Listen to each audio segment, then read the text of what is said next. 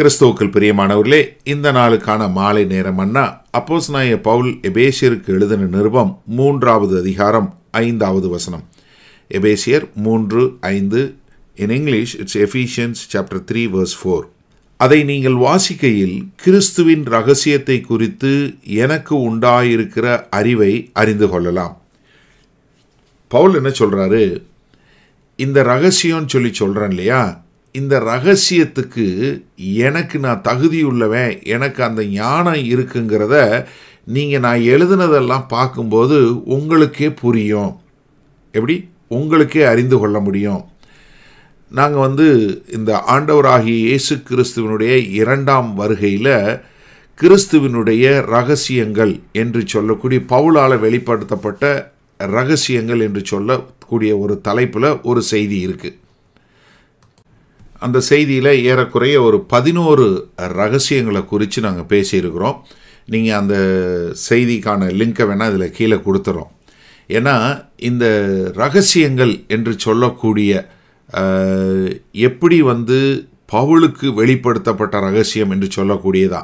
நீங்கள் பார்த்தீங்கன்னா பவுல் வந்து ஒன்று குருந்தியர் பதினைந்து ஐம்பத்தி ஒன்றில் சொல்லும்போது நான் உங்களுக்கு ஒரு ரகசியத்தை சொல்கிறேன் அப்படின்னு சொல்லிட்டு என்ன சொல்கிறாரு எப்படி நமக்கு வந்து மா ஒளியின் சரீரம் கொடுக்கப்படும் ஒரு நொடி பொழுதில் எப்படி மறித்தவர்கள் உயிரோடு எழுந்திருப்பாங்க? அப்படின்னு சொல்லக்கூடியது. கொலோசியர் ஒன்றாவது அதிகாரம் இருபத்தி ஏழாவது வசனத்தில் சொல்லுவார் கிறிஸ்து உங்களுக்குள்ளே இருப்பது தான் அந்த மகிமையின் ரகசியம் என்று சொல்லக்கூடியதாக. ஒன்று திமுத்தி மூன்றாவது அதிகாரம் பதினாறாவது வசனத்தில் சொல்லும்போது அந்த ரகசியத்தை குறித்து சொல்லும்போது என்ன சொல்லுவார்? தேவபக்திக்குரிய ரகசியம் என்ன? ஆண்டவர் எப்படி மாம்சத்தில் வந்தார்? எப்படி வெளி ஆவியில் நீதியுள்ளவராக காணப்பட்டார்? எப்படி உயிர் தெழுந்தார் என்று சொல்லக்கூடியதாக. இதை குறித்து சொல்லும்போது அவர் என்ன சொல்கிறாரு இந்த ரகசியம் இதெல்லாம் நீங்கள் வாசி இந்த ரகசியத்தை குறித்து எனக்கு உண்டாயிருக்கிற அறிவை நான் வந்து ஒரு கட்டுக்கதையோ ஒரு கற்பனையாவை சொல்லலை. பழைய ஏற்பாட்டில் எப்படி தீர்க்க தரிசனமாய் சொல்லப்பட்டது ஆண்டவராகிய இயேசு கிறிஸ்து எப்படி அதை நிறைவேற்றினார் அப்படி நிறைவேற்றிய இயேசு கிறிஸ்து எனக்கு தரிசனமாகி இதை எனக்கு எப்படி வெளிப்படுத்தினார் அதை மூலமாய் நான் சபை எப்படி கட்டப்பட வேண்டும் என்று சொல்லக்கூடிய ஒரு காரியத்தை. அதனால தான் இந்த திமுத்தைக்கு எழுதும்போது ரெண்டு திமுத்தையு மூன்றாவது அதிகாரம் பதினைந்து பதினாறில் சொல்லும்போது கிறிஸ்து இயேசுவை பற்றும் விசுவாசத்தினாலே உன்னை ரட்சிப்புக்கேற்ற ஞானமுள்ளவனாக்கத்தக்க பரிசுத்த வேத எழுத்துக்களை நீ சிறு வயது முதல் அறிந்தவன் என்று உனக்கு தெரியும். வேத வாக்கியங்கள் எல்லாம் தேவ ஆவியினால் அருளப்பட்டிருக்கிறது. தேவனுடைய மனுஷன் தேறினவனாகவும் எந்த நற்கிரியும் செய்ய தகுதியுள்ளவனாகவும் இருக்கும்படியாக. அப்போ வேத வசனங்கள் எல்லாம் சொல்லப்பட்டிருக்கு. இதெல்லாம் எழுதப்பட்டது காரணம் என்ன? நம்ம எல்லாம் தேறினவங்களாகவும் தகுதியுள்ளவங்களாகவும் வருவதற்காக அப்படின்னு.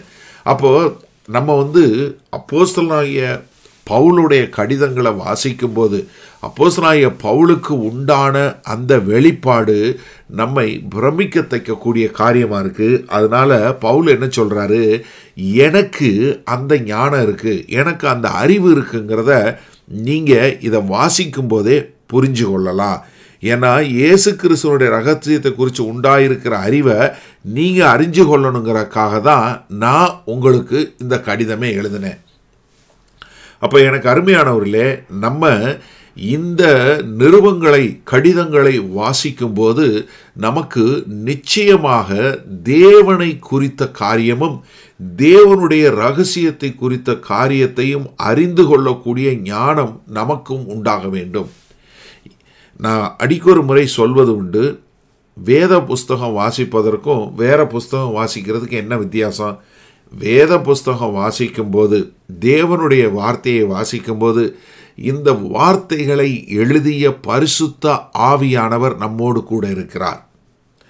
ஏன்னா பவுலை கொண்டு எழுதியிருக்கலாம் பேதுருவை கொண்டு எழுதியிருக்கலாம் யாக்கோபுவை கொண்டு எழுதியிருக்கலாம் ஆனால் எழுதியவர் ஆண்டவர். இந்த வேத வாக்கியங்கள் எல்லாம் தேவ ஆவியினாலே அருளப்பட்டிருக்கிறது. அப்போ இது தேவ ஆவியானவர் எழுதிய கடிதங்கள் தேவ ஆவியானவர் பவுலுக்கு வெளிப்படுத்தின காரியங்களை அவரை கொண்டு எழுதிய கடிதத்தின் மூலமாக தான் நம்ம இன்றைக்கு தேவனை அறிந்து கொள்ளக்கூடியதா. நிறைய உதாரணங்கள் சொல்லியிருக்கிறேன். பழைய ஏற்பாட்டில் சரி புதிய ஏற்பாட்டிலேயும் நிறைய தீர்க்கதரிசிகள் அவர்கள் எழுதிய காரியங்கள் இன்னதென்று தெரியாது.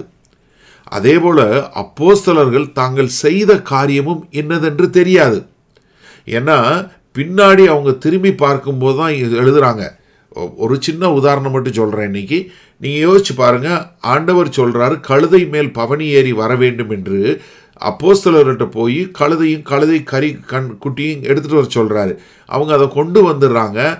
ஆண்டவர் பயணப்பட்டு போயிடுறாரு. மறித்து உயிர் தெழுந்த பின்பு பின்பு அப்போஸ்தலர் யோசித்து பார்க்கும்போது தான் சொல்கிறாங்க ஆமாம் ஆமாம் நாங்கள் இது செஞ்சோம் எங்களுக்கு இது தெரியலை. பின்னாடி தான் தெரிஞ்சது இந்த வேத வாக்கியங்கள் நிறைவேறும்படி இது நிறைவேற்றது என்று சொல்லக்கூடியதா. அப்போ என்னென்னா நமக்கு இந்த ரகசியங்கள் வெளிப்படும் போது நாம் தேவனை குறித்த ஒரு பிரமிப்பும் தேவனை குறித்த ஒரு காரியமும் உண்டாகணும். அதனால தான் எந்த செய்தி கேட்டாலும் யாருடைய பிரசங்கம் கேட்டாலும் அதில் நீங்கள் தேவனை பார்க்கணுமே ஒழிய பிரசங்கியாரை பார்க்கக்கூடாது.